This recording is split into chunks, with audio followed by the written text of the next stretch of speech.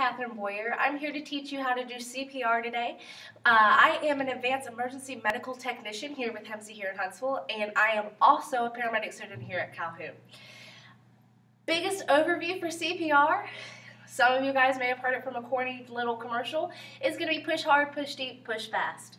Now, push hard and deep is going to be kind of similar in the same thing. We're going to make sure that we're going to be pushing to at least two inches of depth, no more than two and a half. Push deep, same thing, push hard just really the way that we push. And it's going to be locked arms, inner circling hands. It's going to be in the middle of the sternum to the lower part, so in between the nipple line, and I would show you right here. So it's going to be right about here for this person, okay? So it's going to look something like this. Now, I am a little vertically challenged. Please forgive me for that. I would do it on the on the floor right here and show you guys how to do that, but it's really kind of dirty on the floor and I don't really want to show you that. So, push fast is kind of the biggest part that I want to talk to you guys about because it's the most important. We do have different ratios for how to push fast for each one of them. Ideally, across the board, you want at least 100 compressions per minute, and that's for adults, pediatrics, and infants. Adults are going to be, I'd say, probably about Body size wise, the age of 14 or 15 and above. Pediatrics is going to be 14 to the age of 1. And then 1 and below are going to be infants. So for single person, which means it's just me or just you, it's going to be 30 to 2, 30 to 2 for two person, okay? So I wrote it up here, but it's not very, it's not showing up very well. So single person 30 to 2, two person 30 to 2. For pediatrics, it's 30 to 2 as well for one person.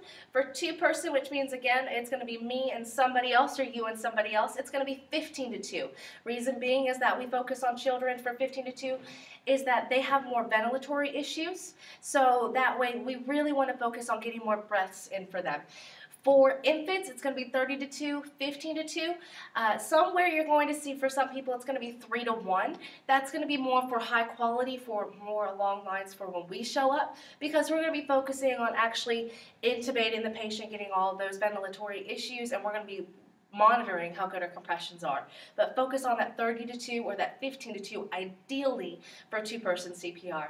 If you guys really don't feel like getting up and close and personal with a stranger, uh, I completely understand. I don't want vomit or communicable diseases in my mouth either.